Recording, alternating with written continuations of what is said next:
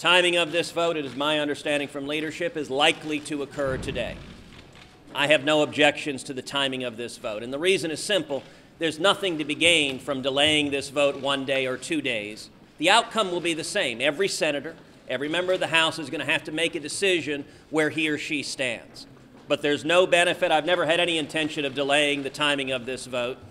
And indeed, I thought it was interesting reading in the papers that, that much speculation about whether we might delay the timing of the vote. Republican leadership never asked if I intended to delay the timing of the vote.